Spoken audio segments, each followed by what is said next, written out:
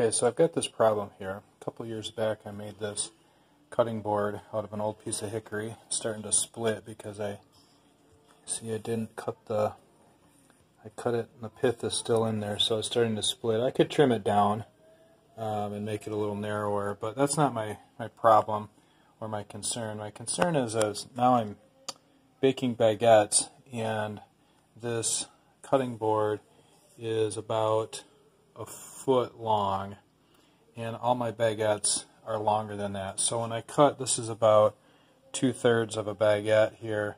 When I cut it, I've got I've got no room left. So I'm really not concerned about the the width of the board as much as the length of the board. So um, got some baguettes here in the oven that are rising, and my pan is my pan that I bake it on is that's about 12 inches and then so it's about uh,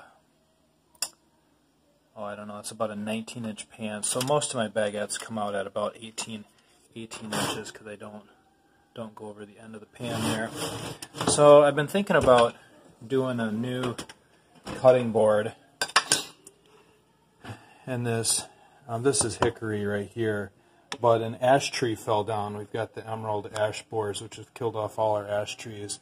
And there's an old ash tree out back. And I'm going to see if I can just cut that ash tree up and make a new make a new cutting board that's long enough for my baguettes. So I'm thinking 24 inches might be a little long, but maybe like a 20 inch cutting board.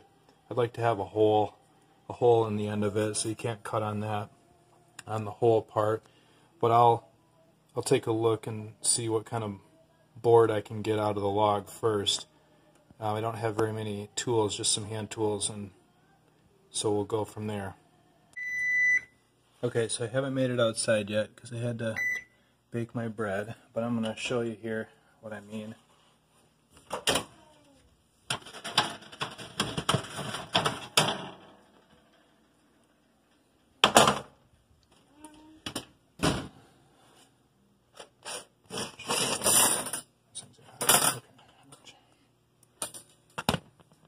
Here's my problem. Line that up. How am I supposed to cut my how am I supposed to cut my bag baguette? So that back on there. Ouch. Let those sit in there and dry out a little bit more. Okay.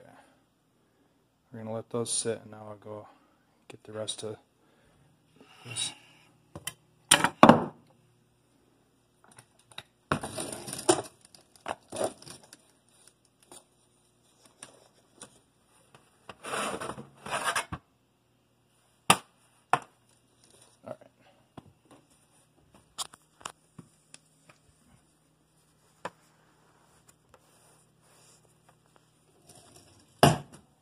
We're going to go fix that problem right now.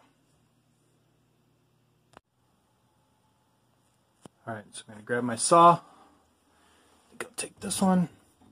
Ouch, that's sharp. I might come back and use that one, but I'll try this one for now.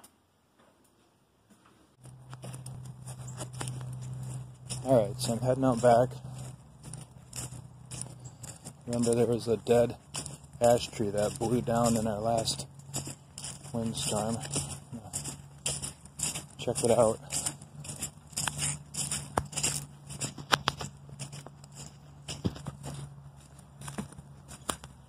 Back there.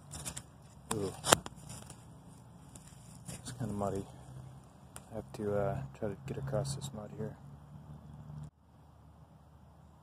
Alright, so here's the ash tree. See the bottom there. See all the ash borer markings in it which have killed it. And I've already cut through one side of it here with my saw.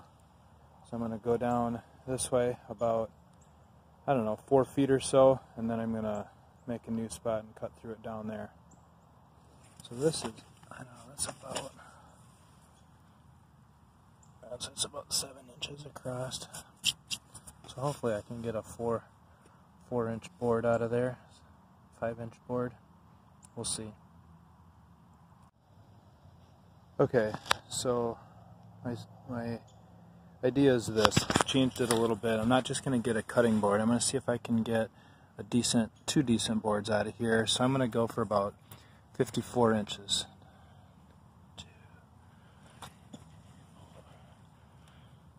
Six. So right up to about this little branch here is 54 inches. So I'm going to cut it right there. And I'm going to see if I can get two boards, one on each side of the pith. So one will be used for my cutting board, and one, let's see if I can make something else. Not quite sure yet. Might, might see if I can make a mash paddle. We'll see. Okay, I'm about a quarter of the way through. Taking a little break here. It's way warmer than I thought, so I'm a little overdressed It's about 55.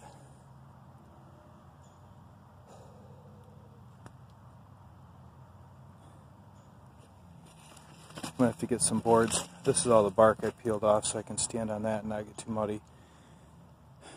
I'm going to put some boards under there, maybe some of these dead logs over here.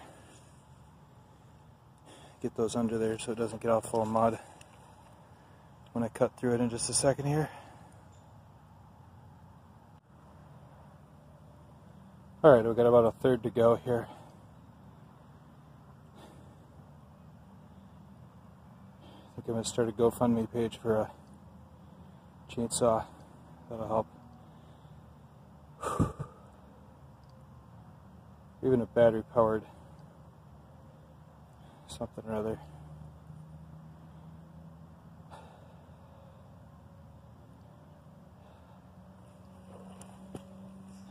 Got my Sticks under there.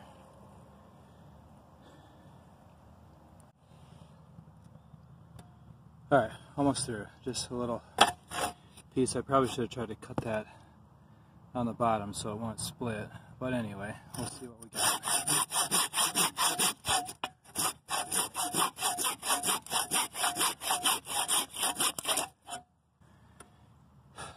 We go. What's that look like? Oh, that's nice.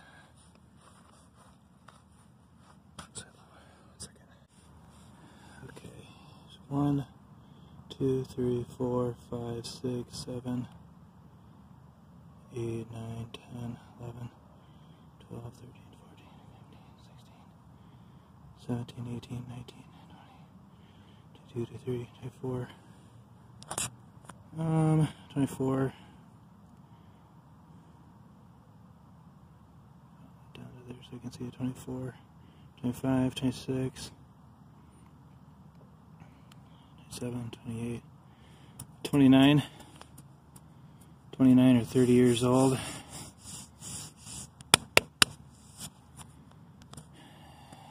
Emerald ash borers took you out.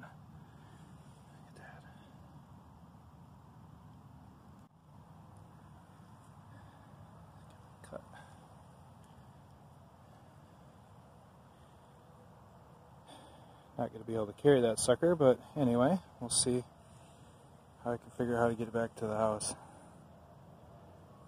Whew.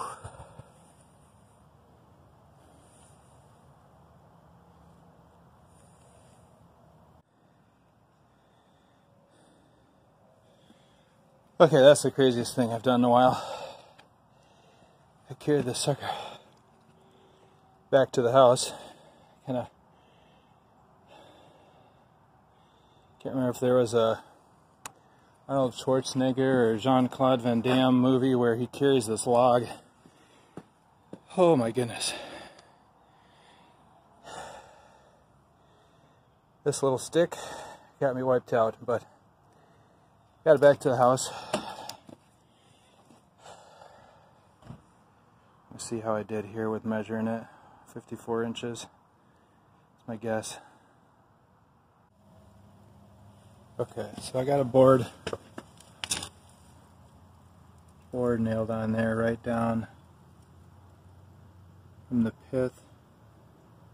This took me forever. Now I've got technical difficulty and it's too dark, so we're going to start over another day, but in the meantime I'm going to paint up the ends. I don't know if I even need to do that, but why not? Paint up the ends, we'll get this thing all tucked away, and I'm going to start over can see better.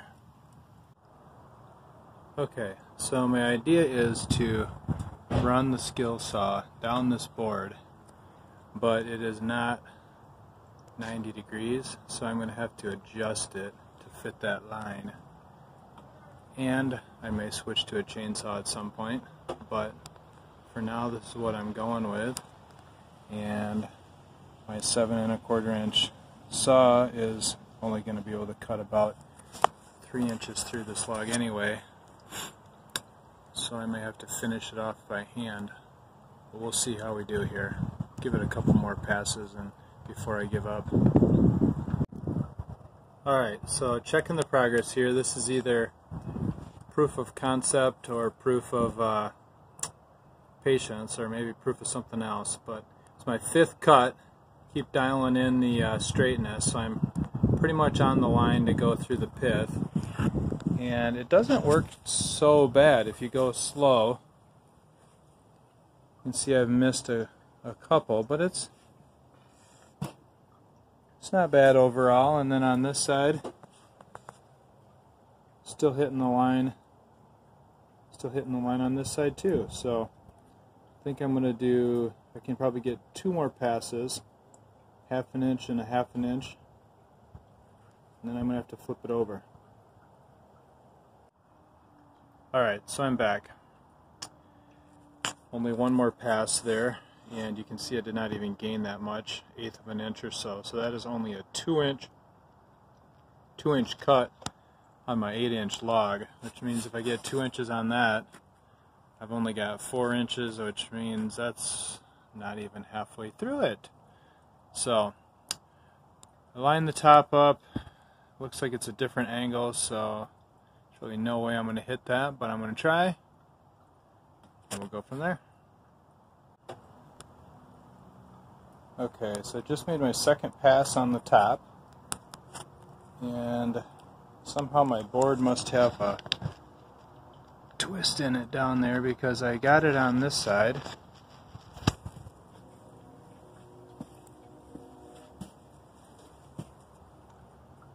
Starting to come off a little bit on this side. So I put a shim under there. What could go wrong with a shim? But we're getting closer. I think two more passes and this part's going to be done. Then I'll have to figure out how to cut the remaining four inches.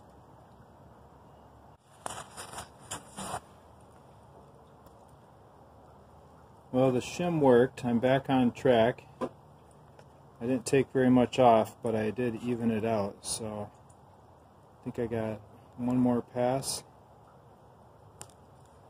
Possibly two, but probably one.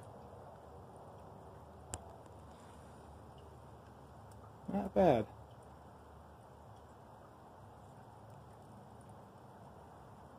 Just one pass on this side definitely get a rhythm.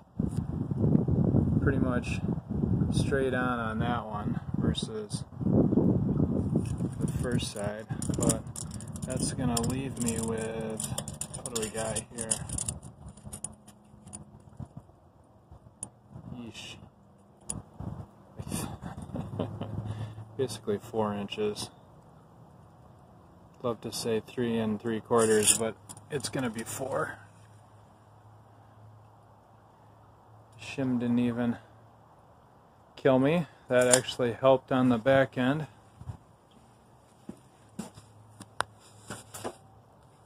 Kind of got her back, back straightened out over there.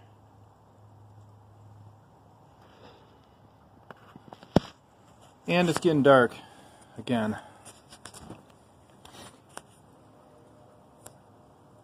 But not bad. It's about 44 degrees out here, so some of the snow from yesterday is melting. And I just need to think about how I'm going to cut through the rest of it. Okay, so here's my progress. Had the first line, but then I thought if I'm going to try to cut a board, once I cut through that line with my handsaw, how am I going to get the second one? So fortunately I didn't even get started and I did all six cuts here. Change the angle of the blade and that was significantly off. Um, but this one is pretty much right on and pretty much straight. Of course, my first two were the best because the top of the, that was the first one. Second one was the best. Third one, fourth one, I kind of changed the angle of the blade. That didn't work so good. And this one, this was nearly a 30 degree, 33 degree angle. And yeah, um, that was not working so well and I was getting tired. My hands are getting tired. And then this one not not too bad once I got it once I got it dialed in, but that's that one's way off here, so I don't I don't even know what's gonna happen. So anyway, then I had the second idea of like why am I gonna try to do this by hand? Um, so I actually bought a long sawzall blade and I'm gonna see if one of those sawzalls will go up and down um, through that. I had to get a longer blade, so I got a 9 inch blade.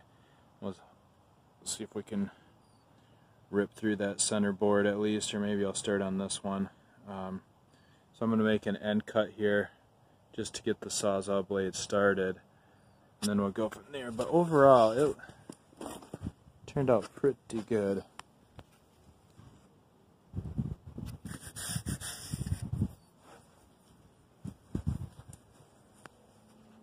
Backside. Pretty nice except for over there again where I changed the angle of the blade. It was trying to match that outside line and got a little narrow but those are two inch slabs so if I if I get an inch and a half out of this board I think I'll have succeeded. Okay so not saying this is a failure but I guess it's a failure. So I'm four inches into this board and it took me seven minutes. It's 56 inches long. So what is that? 16 times 7. That just sounds like way too long. So the Sawzall with the ripping, it's a ripping blade. So I thought it would rip a little faster. Guess it's not designed for that, of course, which is why nobody else has ever done it, but we're going to go to the handsaw and see if I can beat 4 inches in 7 minutes. Okay, so that's a total failure. Need a way bigger saw, a way smaller log, or a completely different hobby. But I'm at about an inch vertical, but I got back on an angle. It goes a lot faster, obviously, because you're going against the end grain, which is a dumb idea. So I'm going to go back to the drawing board, see what I can do. Maybe I'll get an axe, some splitting wedges.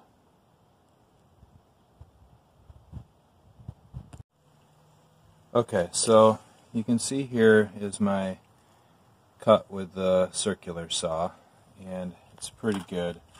So I got an electric chainsaw uh, from a neighbor and I tried to cut that uh, but wow it was just not not happening chattering all over the place and you can see it's just quite a mess so today I'm going to load this thing up in my car and I'm going to take it out um, to a place where I've got access to a a real chainsaw and I'm going to see if I can finish off finish off those slices. And then I didn't even touch the middle one. The electric one was well this one was first. You can see how bad a job I was doing. And then um, I obviously got better but still just couldn't it was taking forever. I just couldn't get through there. So I'm gonna get the gas saw going here and see what we can do So getting it out of my trunk.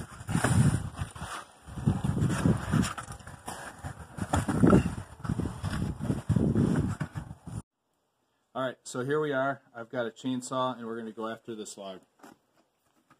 Got my safety gear on.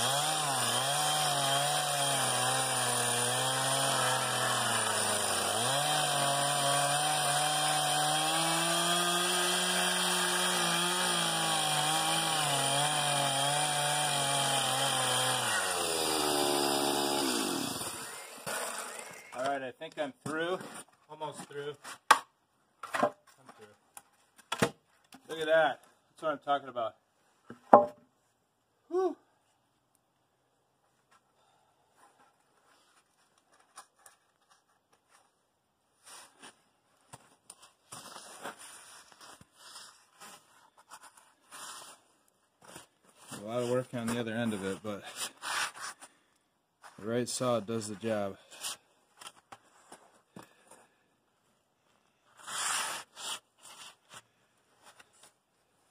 Alright, so I've elevated it here because I was worried I was going to go through, and that is one thing you do not want is to touch your blade on, on the cement. So I've got it elevated pretty stable. I'm going to go after these next two.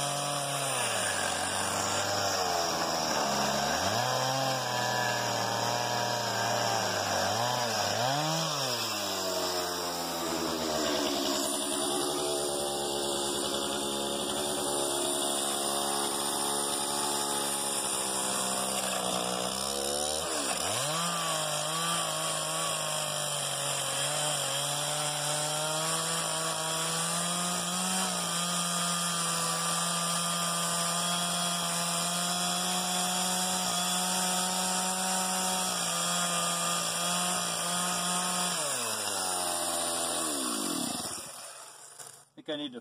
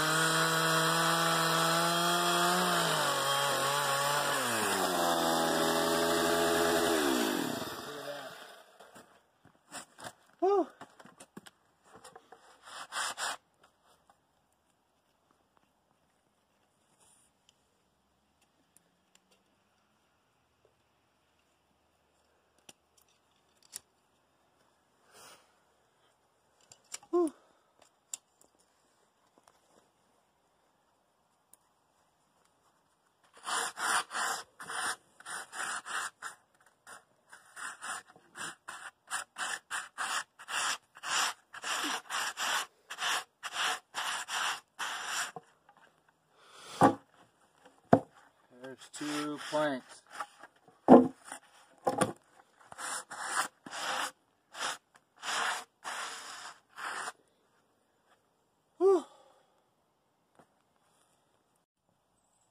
So here it is, just rough cut with a chainsaw. You see stuff like that, some pretty big gouges. And like like this bump here, you know, just because it's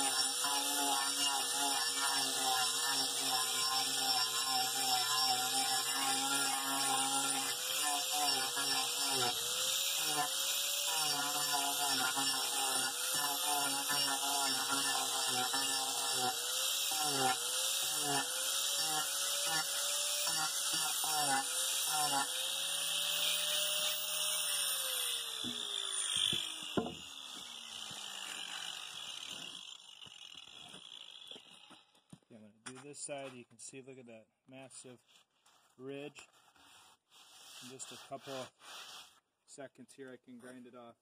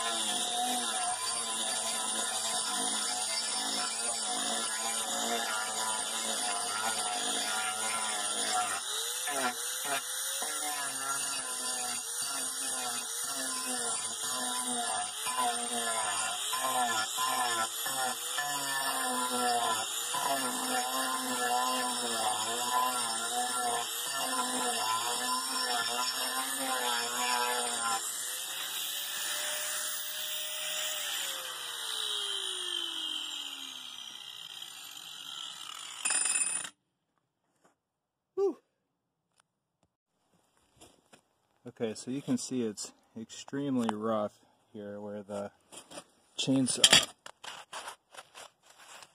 chainsaw grabbed in different different spots. So what I'm going to do is I'm going to take some of those high spots off before I let it dry. Probably don't need to, but just want to smooth it out a little bit. And for that, what I found works extremely well is got this 24 grit carbide disc uh, grinder. So I just, it's just a, I don't know, $8, $9 attachment for your basic angle grinder. And I'm going to take some of the high spots off with this. And this thing is just an absolute beast. So 24 grit here in just a couple of minutes I'll smooth smooth this one down.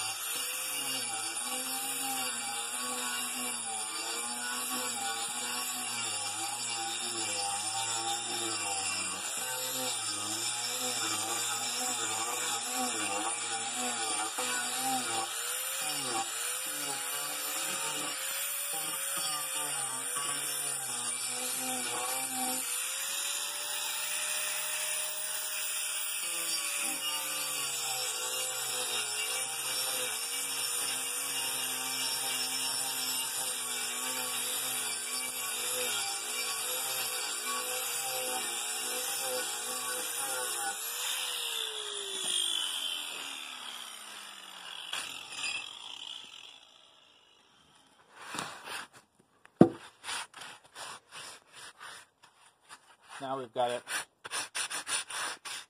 roughed out. I think we're ready to let it dry for a while.